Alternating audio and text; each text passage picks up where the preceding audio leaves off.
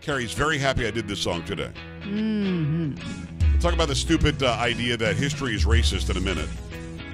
We'll get your phone calls on that. But first, a little Pags parody. Bring it.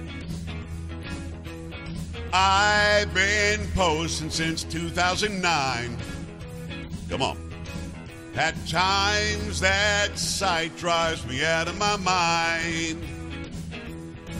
Last week, I tried to log on, but was upended.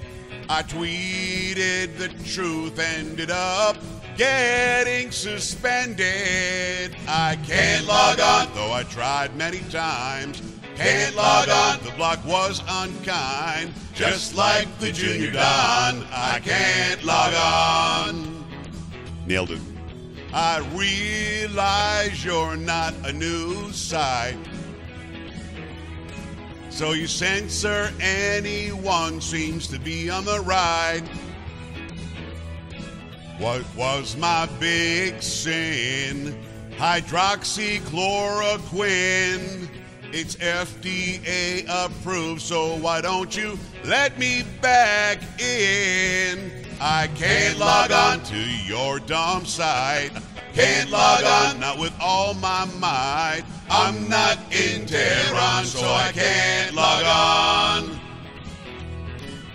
I can't log on. What's your problem, Jack? Can't log on. I'm not a Chinese hack.